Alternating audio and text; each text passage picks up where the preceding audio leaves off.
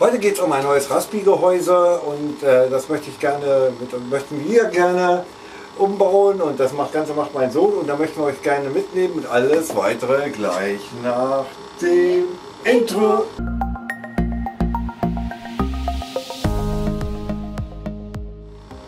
Hallo und herzlich willkommen und schön, dass ihr eingecheckt habt. Ne?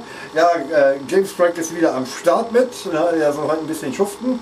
Und zwar geht es dann äh, darum, das Raspi-Gehäuse hat ja im ersten Teil so ein bisschen was gelitten und da haben wir uns jetzt ein neues mitgebracht.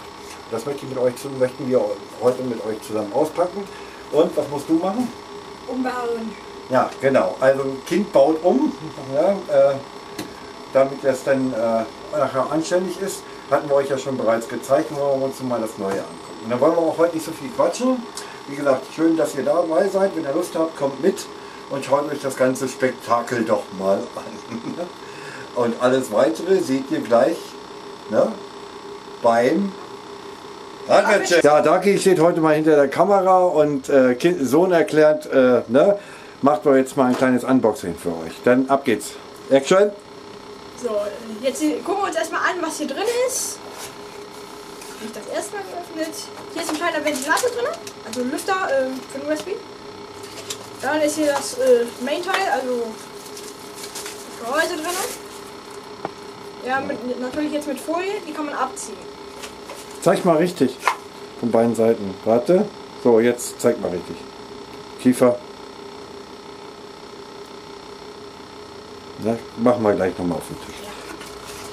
Dann sind hier die äh, drei Kühlkörper. Kühlkörper, ja. Geh erstmal gucken. Ja, die habe ich alle schon, also die können weg. Gut, dann äh, lassen wir die Schutzfolie erstmal drauf und du schreibst, äh, ist noch eine Bedienungsanleitung dabei? Ja, hier ist auch eine die Bedienungsanleitung dabei. Gut, dann schwenken wir mal kurz. Wie gibst du mir mal? Ich schwenke mal kurz. So, dann findet ihr hier noch eine kleine Bedienungsanleitung, wo dann die einzelnen Kühlkörper hinkommen. Na, da. Aufs äh, Mainboard sowieso. Wo hier wie der Kühler nochmal angeschlossen, plus minus. Und wie das Ganze dann hier nochmal zusammengebaut wird. Hier ist auch nochmal auch noch das Layout vom zu sehen, ne, wo man was jetzt hinsteckt. Eigentlich schon relativ bildtechnisch gut erklärt. Ist zwar in Englisch, aber das sollte eigentlich jeder hinbekommen. Auf der anderen Seite sehen wir dann nochmal die einzelnen Schritte. Eins fangen wir an, die Schutzfolie abzuziehen, dann die einzelnen hier rüber zu legen, das Gehäuse einzulegen, dann nochmal einen, nochmal einen, nochmal einen, nochmal einen drauflegen, bis wir dann alle zusammen haben. Dann kommt die, äh, der Deckel oben drauf, Na, der wird dann auch verschraubt. Das sind hier auch jeweils immer die Schrauben dazu angezeigt, was ihr daneben müsst. Und halt zum Schluss halt den Lüfter. Enjoy it. Na, das heißt also auch der Lüfter, wie ich das hier richtig sehe, wird äh, von innen drinne verschraubt. Wenn ich das, nee, der ist oben drauf geschraubt. Gut, und das äh, machen wir jetzt erstmal. Das heißt, wir ziehen jetzt erstmal, der Große zieht jetzt erstmal den, die Schutzfolie ab und dann mache ich für euch mal eine kleine Unterbrechung. So, dann schrauben wir erstmal hier die Schrauben los. Äh, Da unten ist noch so eine Mutter dran.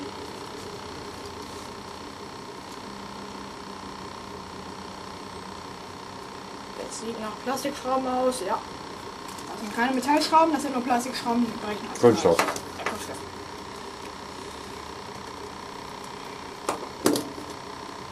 Schauen wir mal, das sieht mir aber ein bisschen stabiler als das andere Gehäuse aus, auf jeden Fall. Ja, dann wird das jetzt Raspi 2 äh, ne? Teil. Kommt ja nochmal irgendwann das Flashen. Wie man das macht, So, jetzt vorsichtig auseinandernehmen. ich versuche so möglichst wenig Layer auseinander, um durcheinander zu bringen. So, jetzt sollen wir hier die Schutzfolie abmachen, also diese Papierfolie.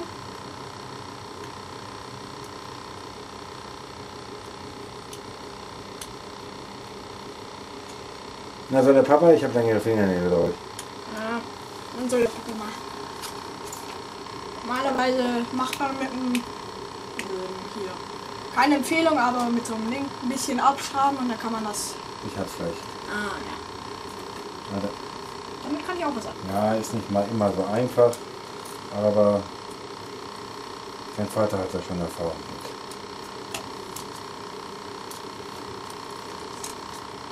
Wir wollen ja nicht zu viel rumkratzen da. Hier. So, ein bisschen ziehen, damit wir die Ecke dann auch mitbekommen. So, das ist das erste Gehäuse. So, dann schnappst du dir das mal zur Seite da. Zu wenig, zu wenig wie wirklich was miteinander durcheinander bringen. Ist ja besser abzuziehen. Die Schrauben soll man, also hier den Lüfter, den soll man doch innen machen. Also nicht, dass der Dagi euch was falsch erzählt, da Das ist von innen bei der Konstruktion. So, dann auf ihn.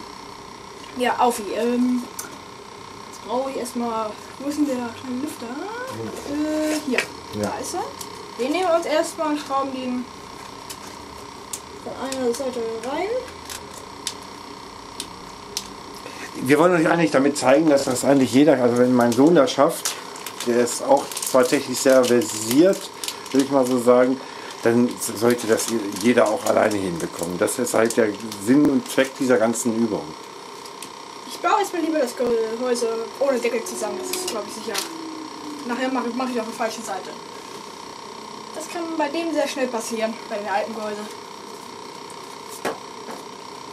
Das wird so rum. Das kann hier schon veralten.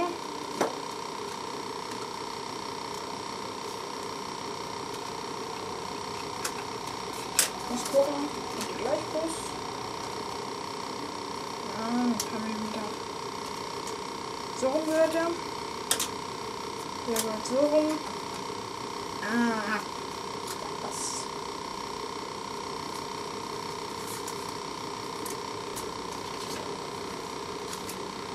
Ja, ist so ein bisschen Monopoly, ne? Äh, Monopoly ist halt schon so ein bisschen äh, Puzzlekram.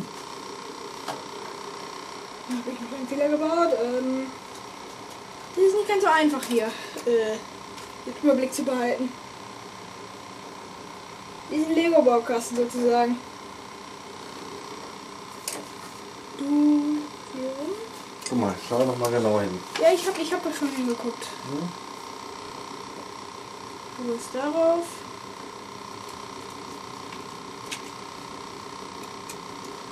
Ah ja. Da kommt der USB rein. Ja, das sieht gut aus. Das sieht schon besser aus. Dann kommt äh, Das ist das so Teil. ein offener, ne? Wenn ich das so. Hier ist ein offener. Ja. Ja. In welche Richtung? Da wo dieses. Ja, du musst ja den USB frei, den äh, Dings freilassen. Hm. Muss mal gucken.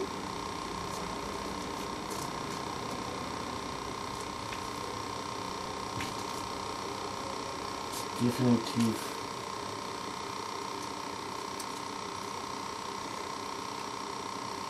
Nee, das nicht mal.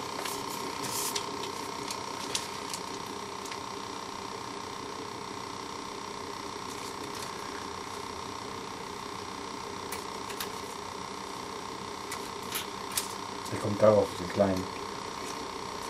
Den? Nee, guck doch mal hier. In der Mitte sieht das aus, ne?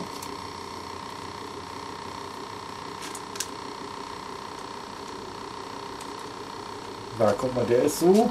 Wie hast du den draufgesetzt? So. Da kannst du dich da orientieren. Wenn der so drauf sitzt, der Winkel schaut nach da. Dann muss das Ding eigentlich so schauen.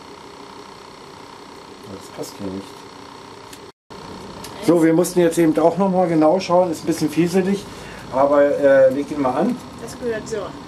Ja, über den Anschluss hier nochmal und hier nochmal rüber. Also, ähm, das war jetzt hier die Kamera. Das ist Display. Ähm, Jetzt hast du, haben wir das erledigt. Jetzt nehmen wir den Nummer 6. Das muss der sein. der gehört darauf. Das gescheit ist dann schon ein bisschen einfacher. So, jetzt hast du äh, 6 verbaut. Jetzt sollst du 7 nehmen. Das sind diese Teile, die da oben. Da musst du aber, hast du jetzt gemerkt, ob oben unten ist? Ich habe eigentlich nicht umgedreht. Also, es sollte das sein. Aber jetzt wird es schon einfacher. So, Ja, die lege ich jetzt als einen Layer mal oben drauf. Zack. so, jetzt ist die Frage.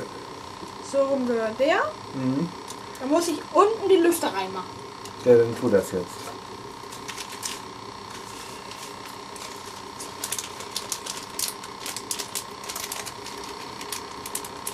Vorsichtig, du verballerst hier gerade. Ich Da Pack muss ich schon ein bisschen Gewalt anwenden, weil an den kommst du so doof ran. Genau, steck erstmal eine von unten, setz die andere an, genau. Und dreh eine oben drauf. Dann machst du äh, gegenüberliegend genau das gleiche. Und guckst mal, ob das überhaupt passt. Vom Layout. Der Lüfter nicht doch nachher oben drauf gesetzt werden muss. Was ich schon Nee, das passt. Passt. Gut, dann kannst du jetzt erstmal hier gegenüberliegend festmachen. Das macht er dann immer so. Ja, du musst schon auf Drehung Tisch arbeiten. Kann, das man, kann man das nicht sehen. Ich spring mal ein bisschen weiter zurück. So.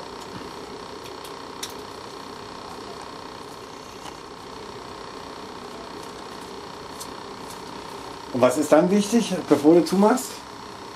Ähm, Verkabeln. Äh, das Ka Verkabeln muss ich auch später machen. Ich, ich schleife das. Ähm, Nee, du musst jetzt erst verkabeln, dann kannst du den Deckel drauflegen. Das heißt, wenn du jetzt ich jetzt. kann nicht vorher verkabeln. Ich muss das vorher so legen. Dann kann ich erst verkabeln. Ja, nee, das, du bist ja schon drin. Ne? Darf ich? Du bist doch Ich schon bin drin. noch nicht mal fertig. Ja, du bist aber schon drin. Also musst du jetzt gleich verkabeln. Kommst du nachher nicht mehr dran. Da komme ich nachher dran. Mach's ja einfach. Hör auf deinen alten Techniker-Vater. So, jetzt leg dir das hin und verkabelst jetzt. Ich mache es erst, wenn es zu ist, weil dann fliegt mir das nicht auseinander. Das fliegt ja nicht auseinander. Wenn du jetzt die Kabel. Lass mich mal bitte. Wenn du jetzt die Kabel nimmst und steckst die jetzt rein, dann brauchst du nur noch zumachen. Ach, ach so mal ist das gemeint. Ja. Hör auf den Meister. Muss nochmal hier auf den GPR gucken. Am besten, das hatten wir hier schneller gemacht. Äh, sagen wir auch gleich, was Plus und Minus ist. Rot war Plus.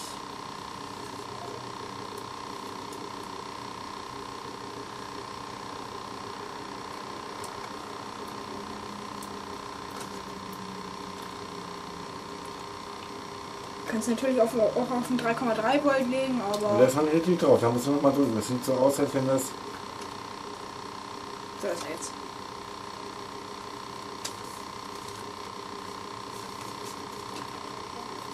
Dann machen wir auch gleich nochmal einen Testlauf. Master-Tattoo habe ich hier dabei. So. Wollte ich gerade sagen, steck noch mal eine durch. Den haut weg. So, jetzt kannst du umdrehen und kannst das nach festschrauben. Also wie ihr gesehen habt, es dauert nicht lange. Es ist ein bisschen Friemelkram, ne? Wenn man dann rausgekriegt hat, wie man es zusammenlegt und richtig geguckt hat, äh, ist das halt Lego-Baustein. Ne? So, war das jetzt besser mit dem Kabel? Als wenn es da jetzt durchs Loch friemeln muss? Also, Man kann es halt so machen, wie man möchte. Es ist halt. Du kannst nicht, du kannst nicht sagen, Papa hat recht. Ne? Ich sage, ich habe recht, weil es ist einfacher. Kannst du nämlich hinterher eine Bezette Aber nehmen. wieso sie hier nicht ein kleines nochmal extra Loch reinmachen dafür, verstehe ich nicht. Das ist das Layout des Gehäuses. Die werden Mal schon an so. der Stelle. Nenn nichts Hersteller. Ist super Gehäuse, besser als das andere. Finde ich.